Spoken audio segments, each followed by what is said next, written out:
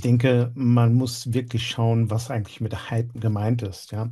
Äh, ich denke, dass sich der Markt einfach anpasst und eine ganz große Veränderung gegenüber paar Monaten, vielleicht sogar paar Jahren gegenüber heute ist, dass, ähm, Lösungen mit KI affordable sind. Mir fällt grad kein deutsches Wort ein. Die sind günstiger zu bekommen, als es früher der Fall war.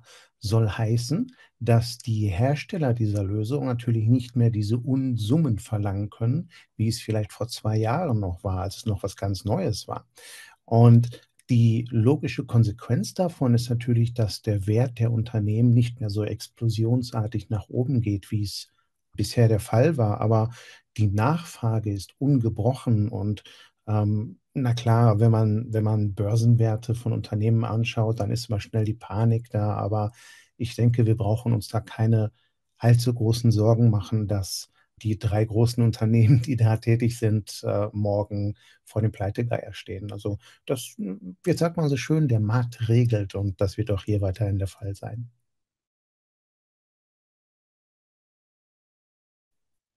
Ich denke, dass wir spätestens mit, äh, ChatGPT, das ist jetzt 1,5 Jahre her oder so was, glaube ich, ähm, gelernt haben, die richtigen Fragen zu stellen.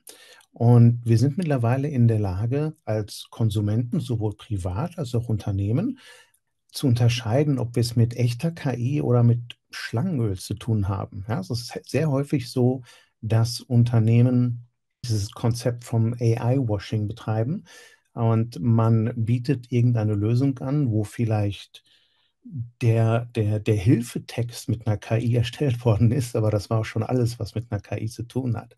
Und mittlerweile sind wir durchaus in der Lage einzuschätzen, ähm, zu schauen, ob da wirklich was hintersteckt. Und das wird natürlich auch Auswirkungen auf die Nachfrage haben. Bei der Umsetzung von KI müssen wir 'n bisschen unterscheiden. Als Hersteller einer Software hat man natürlich erst mal zu entscheiden, was für Modelle nutze ich. Und da geht's ja auch schon los. Entwickle ich ein eigenes Modell oder kaufe ich 'n Framework ein? Die gibt's ja bei ähm, bei allen großen Cloud-Anbietern schon schon relativ gut und die funktionieren auch prima.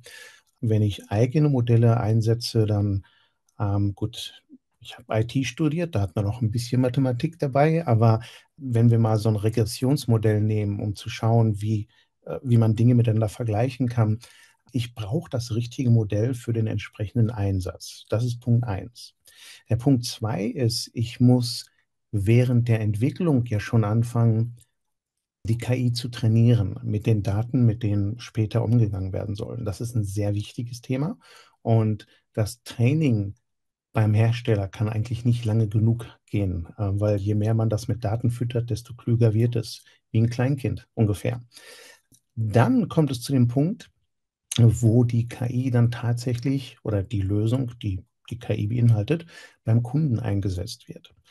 Und hier sieht man mittlerweile deutlich, wie sehr sich das verändert hat. Vor ich muss jetzt lügen, vor 2 Jahren, vielleicht waren's auch 3 Jahren, ähm, habe ich auf 'ner größeren Messe mit 'nem Hersteller von einer Sicherheitslösung gesprochen, die auf KI basiert.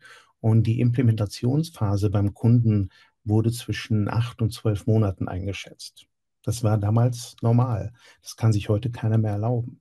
Die Systeme müssen beim Kunden möglichst schnell einsatzbereit sein. Wir reden hier über Wochen maxi maximal, in denen auch 'n Feintuning betrieben werden kann. Das große Problem, das es da allerdings gibt, ist, dass in vielen Unternehmen die Daten einfach nicht angeglichen worden sind. Da gibt's im Englischen 'n schönen Begriff, der nennt sich, äh, Garbage in, Garbage out.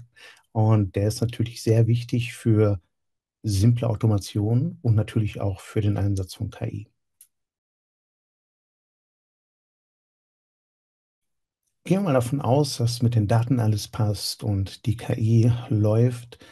Man tut gut daran, wenn man eine KI zuerst nur beratend einsetzt. Das heißt, das System, ähm, kann im Hintergrund laufen und sammelt Daten und schlägt dann vor: „Das und das wäre eine Aktion, die Sinn macht.“ Und ide idealerweise erklärt auch, warum denn dieser Vorschlag kommt, ja?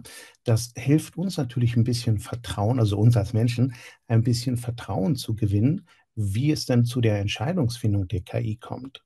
Und ich halte es für sehr, sehr wichtig, dass Hersteller von KI-basierenden Lösungen eine solche Option anbieten, bevor direkt Entscheidungen automatisch getroffen werden, deren Konsequenzen man unter Umständen nicht einschätzen kann.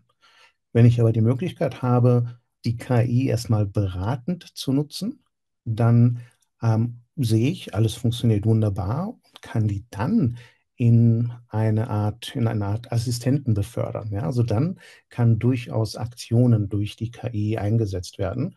Aber man darf nie vergessen, es ist immer 'ne Art von Supervision notwendig. Man sollte immer mal drauf schauen, was denn das System macht.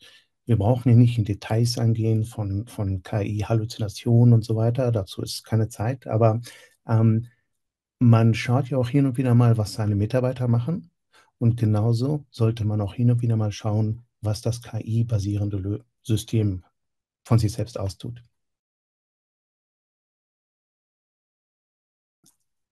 Je nach Art und Weise, wo KI in einer Lösung untergebracht wird, gibt's natürlich unterschiedliche Risiken. Wenn ich einfach nur 'ne KI als Assistenz habe, vielleicht in 'nem Browser, der mir bei äh, bei der Suche von irgendwelchen Dingen hilft, ähm, sind die größten Sicherheitsbedenken, die ich habe: Wo kommen die Daten her? Und vielleicht führe ich einfach mal 'n Crosscheck durch, ja? Nehme noch mal 'ne 2. Quelle, um zu schauen, ob das alles so passt. Aber in den meisten Fällen bleibt es ja nicht dabei. Wir nutzen KI-basierende Lösungen, um unseren Arbeitsalltag zu vereinfachen. Und je komplexer die sind und je mehr Automationen da sind, desto höher sind natürlich auch die Risiken. Ich gebe mal ein Beispiel aus unserer Welt. Wir führen AIOps durch, also auf KI basierende operative, äh, Maßnahmen in der IT und könnten zum Beispiel Server verschieben durch bestimmte Lasten. Ähm, das macht man seit vielen, vielen Jahren regelbasierend, relativ simpel mit Schwellwerten zu arbeiten, aber man kann natürlich hier auch mit KI deutlich mehr machen und weiter in die Zukunft planen. Und Lösungen, die in der Lage sind, solche Entscheidungen selbstständig zu tätigen, haben meistens sehr viele Berechtigung. Und hier ist genau der Punkt. Es ist wie in der Frage, die wir grade schon hatten, ähm, 'ne gute Idee zu schauen muss ich wirklich alles automatisieren, auch wenn es wirklich wichtige Dinge sind? Oder ist es vielleicht einfach nur praktisch, wenn ich einen KI-Assistenten habe, der mich auf Dinge aufmerksam macht und mir die entsprechenden Lösungsvorschläge angibt? Und ich schaue dann einfach drauf und sehe: „Hey, das ist alles machbar“, aber den letzten Schritt, zumindest bei potenziell riskanten Manövern, den führe ich immer noch als Mensch durch. Als Menschen sollten wir immer noch in der Kontrolle sein, egal was für ein System uns zuarbeitet.